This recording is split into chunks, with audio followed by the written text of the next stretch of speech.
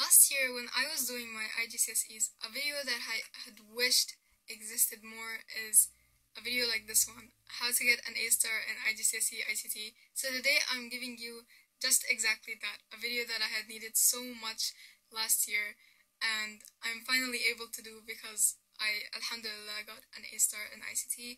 Uh, also, if you're watching this during Ramadan, Ramadan Kareem, uh, and I hope you have a blessed month. Uh, so yeah, if you're new here, I'm Habiba, and I got an A star in 8 IGCSE subjects last year, these being these 8 subjects, and I'm currently doing a series on how you can get an A star in all of these subjects.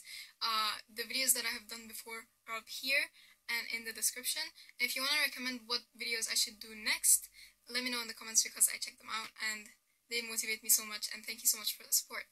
Let's get started. So, just a bit of background information on ICT. I did ICT last year during May June 2022, and it was during COVID times as well. So, my school did an exemption for ICT, and uh, we were only given paper 1, which is the theory paper, and paper 2 and paper 3, which are practical papers, were excluded or exempted because of COVID regulations. So I did not do these papers. However, when I was doing them during online classes and when we were taking tests for them, I alhamdulillah got high grades in those two. So I can technically give you a lot of advice on these as well. Uh, now, ICT, as I said, has these three papers, and I feared the most paper one, which is the theory paper, because there was just so much content, and if you take ICT, you would understand what I mean by this. Uh, but yeah, so today I'm gonna help you out with that. Let's start with theory because this is what I was scared of the most, and this is what actually scares a lot of students that do take ICT. If you know, you know what I mean. okay, so how I studied ICT. The sources, first of all, uh, were the textbook and the textbook mostly because it basically is a complete guide on everything you need to know to succeed in ICT. Uh, and then there were also online notes. There were a lot of these. However, my two most favorite websites were igcseict.com and ICT Lounge. These were saviors. Not only did they make the process more fun, like I love doing research, so taking more information from the internet actually made it more fun, but they also summarized it and you know, you know how you get scared when you see all of this content in the textbook. They made it less intimidating, basically. So I highly recommend these uh, websites, and I'll recommend all the resources I say in this video in the description.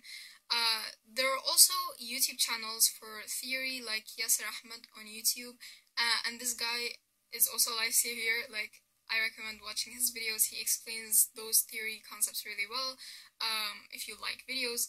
Uh, and he also does PowerPoint presentations that I would print and use. Uh, and I'll get back to how I would use his presentations. Uh, but yeah, check him out. I'll also link it down below. Uh, now, I'll give you my study methods for ICT theory. So what I would do first of all is read the textbook because the textbook is where everything starts. Uh, I would read one page fully and basically understand like you're here trying to understand you're trying to learn you know what i mean so i'd read the entire page and try to understand what's going on and then after i'm done with that i go over and you know reflect on what i remember and write it down on a blank piece of paper. So like i would you know try to remember everything i read and write it down on the piece of paper uh, in points or summarized or anything like that. Or even like you know say it to myself. You know what i mean? Yeah, like you summarize it and then you say it out loud. And then I would compare what I wrote down or what I said to the textbook again. So I open the textbook and I see and I compare. And if there's anything that I've written wrong or a misconception, I go back and I read it in the textbook and then I mark it with red pen. If there's anything I missed, I also add it with red pen. So like red pen kind of pops up in my memory so I remember what I have missed or any mistakes that I've done. Um, this method is basically you're active recalling so like you're doing something actively with your brain and with your memory and not something passive like just reading a textbook because when you only read the textbook you won't retain everything that you have read in the next day. But if you keep playing this game of memorizing and then recalling what you have memorized before the ideas and the points are most are more likely to stick in your brain. That's basically what i'm trying to say. Uh, next, I would print those PowerPoints that I've talked about, uh, Yasser Ahmed's PowerPoints. Uh, I would kind of like, you know, downscale them so that like they're only like 70% of the entire page and I'd leave these like blank spaces in the page. And then what I would do is I would read his uh, PowerPoint slides and then I would annotate anything that is missing or any extra points or anything that I remember from the textbook basically. I make it this fun game of recalling what I have already read while reading what he has written because sometimes he has some extra points that are relevant or sometimes he has missing points that I add them up from the textbook.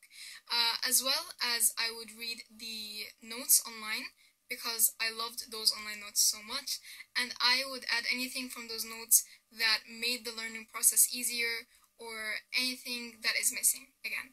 Uh, and I would end up with these annotated pages uh, of the slides that he has and it makes the learning process way more fun than just reading the textbook and trying to go with the textbook only, trust me on that. Uh, and if I find these annotated slides, I would love to like put a slide, one of them like on screen right now to see to make you see like what I'm talking about. Uh, after that, I oh yeah, if if you don't like reading the textbook, you know how sometimes you read the textbook so much you just get bored and you cannot do this anymore. Uh, you could watch Yasser Ahmed's video uh, on theory. I think he's the only person on YouTube or one of the only people on YouTube that explain ICT theory. So I would watch his videos uh, instead of the textbook of course, afterwards, like, I would read the textbook because sometimes his videos do miss a couple of points. However, as a starter, it, like, pushes you and gets the ball rolling, you know, gets you actually studying, uh, if you lack the motivation to start studying first with the textbook. Um, yeah. Also, understand more than memorize. ICT is a lot about understanding the concept. If you understand the concept, you won't need to memorize anything. Um, so just try to understand what the textbook is trying to say, and you'll basically pass the subject. You don't need to memorize anything. Understanding here is the key. Next, past papers. Solve a ton of past papers.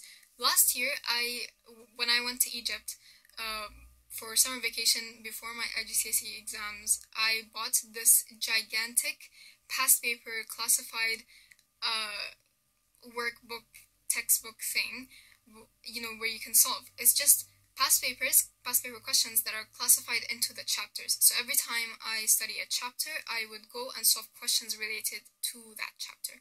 If you can't find a classified booklet that you could buy from uh, an IGCSE library or like you know what I mean, uh, if you can't find those, you can solve normal past papers. That's also fine, but I like those as starters because uh, lessons that I lack a lot of strength in, I would go and solve more for those uh, chapters. But it's definitely fine if you just start with past papers. Solve a lot, a lot of past papers.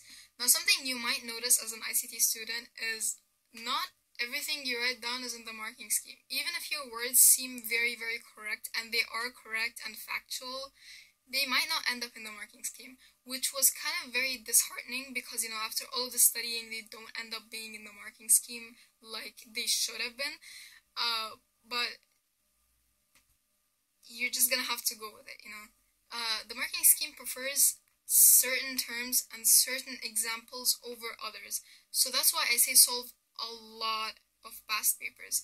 You could even, like, that's why I don't recommend, like, use the textbook as, like, revision for your concepts, but don't revise, I mean, don't like memorize from the textbook. Memorize instead from the marking scheme and the points and examples that they prefer and the keywords that they use the most.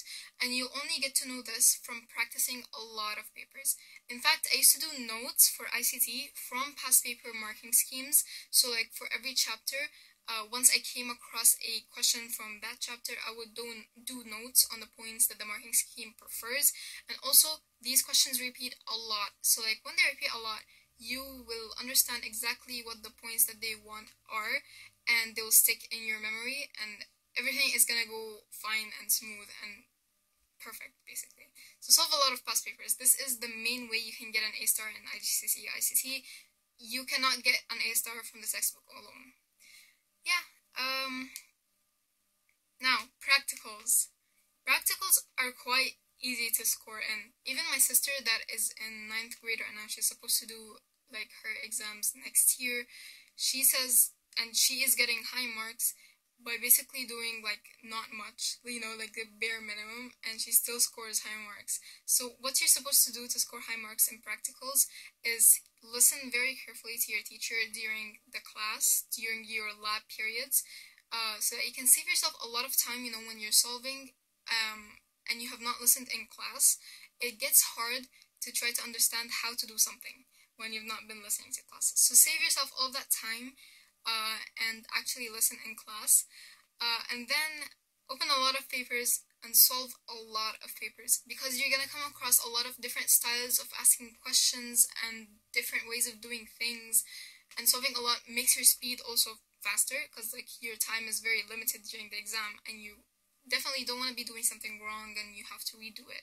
So solve a lot and get used to the style and everything like that. Uh, and also, there are a lot of YouTube tutorials and everything like that that teach you the method and the way to do it if you don't know how to do it. Um, and also, check the marking scheme because, like, everything you print, I'm pretty sure, is what goes to Cambridge. So, check the marking scheme and compare what you've printed to the marking scheme and see where you go wrong. Uh, see where your weak points are overall in the papers. So, for example, in paper 2, your weak point is PowerPoint. Uh, so like now you know where to focus on more, and so on and so forth. Um, read the textbook. The textbook is really really helpful for practicals. It's way more helpful than you actually think. Um, I recommend you read the entire thing at least once. Um, but it's also a good guide. So like if you don't know how to do a specific question like v lookup or h lookup you can always look it up in the textbook. Uh, and yeah, don't leave it to the last second. I know the ICT practicals are coming in about a week, like two weeks or less than two weeks. So don't leave it to last minute. Uh, if you see this video right now, start solving those past papers and solve a lot of them because they're very time consuming. Like one paper requires two hours or something like that. So start solving from now and find your mistakes from now and improve from now and watch videos about it and all that stuff. And also solve from different years because different years have different styles and different types of questions, so you're going to gain a lot of knowledge and make notes of your mistakes for both theory and practical and always check this mistake log and try to improve yourself on your mistakes. Uh, and yeah, that's basically it. Um, ICT overall is a pretty, like, it was a really heavy subject when I didn't know what to do. But now that I know that ICT is basically just like based off of past papers, like you solve as much as possible, it's basically become way easier to me at least. So, so solve a lot, you know, and revise your mistakes. Oh yeah, for solving theory past papers, as I said before, it can get very unmotivating when you lose marks on points that you should have gained marks on, but you're not gaining marks because it's not in the marking scheme, if that makes sense. Uh, but you just have to know and trust the process uh, basically like give it time. You know like don't rush it. Just know that it's going to take a lot of time to get to a point where you start writing down points that the marking scheme wants. So don't get disheartened by this. Don't get disheartened by getting getting very low marks because everyone starts at very very low ict marks even me. But you just have to know that it will get better. Just like solve a lot and you will start seeing the progress because ICT is based a lot on solving past papers and you know just taking from the marking scheme.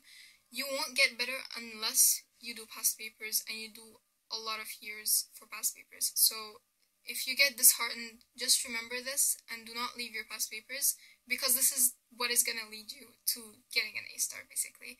So yeah track your progress uh, track your marks. You're going to see that you're going to you know get better and better marks the more and more you solve. It is a very very long process but it pays off at the end when you get that A star and you survive the subject. So yeah thank you so much for watching. Make sure to like comment subscribe share this to your friends who need help as much as you do. Um and yeah. Bye